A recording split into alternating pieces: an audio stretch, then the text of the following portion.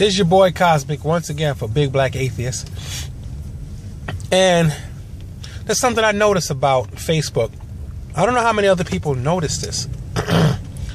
but if you go to women's pages who claim they're not getting any sex, the sex was never good, dudes ain't shit, whatever it is, you'll find a common level of ignorance. That's right. You'll find a common level of accepted ignorance. Like it'll be some delusional fantasy shit. Or it'll actually, or it might be racial. You might have a black woman who's so pro black that her real, that her expectations of black men are totally unrealistic and hence she has to be alone. And then when she does accept a black man, he don't meet up to none of the standards that she set. That shit right there always trips me out about both people, black, both male and female. Talk shit about what they're to accept, who they'll accept, under what circumstances, what day of the week, what time it's got to be, the temperature outside, all that shit. And then when they finally get a mate, it ain't nothing like that. They be on some bullshit.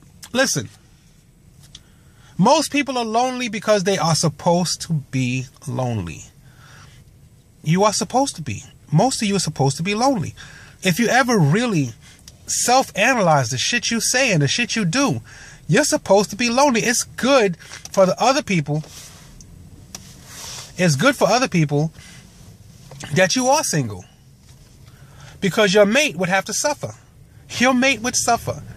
So that's why, and if you believe in God, that's why God ain't sending you nobody because God don't want to punish nobody with your ass.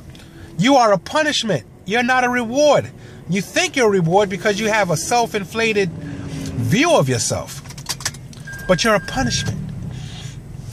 Now you find this more on women's pages. On a man's page, he will say he ain't shit. I'm single because I ain't shit. You know what I'm saying? Mm-hmm. You'll see a man say, I'm single because I'm this. I like to do this and fuck that. I don't want to put nobody through that. But a woman will be she's single and she'll put that shit all on the male gender.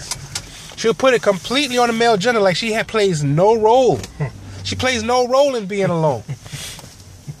And that shit trips me the fuck out. And then when they talk, when the shit they say on the page make you go, ugh, no, I wouldn't date her.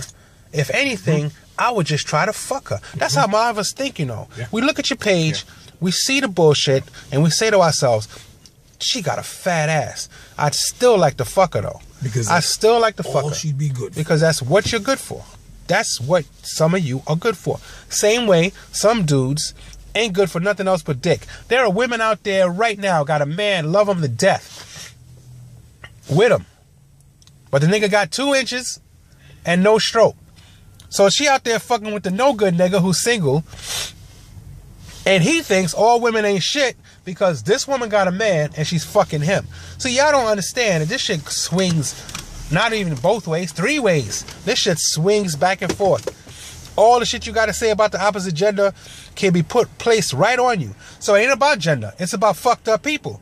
So if we keep it trying to be about gender, we take the blame off of ourselves. It's the same as claiming Satan made me do it. When you say you had some shit because the dude is just because you're dealing with a man, that's the problem you have. Just because you're dealing with a man, you're fucked up in the head, don't even know it.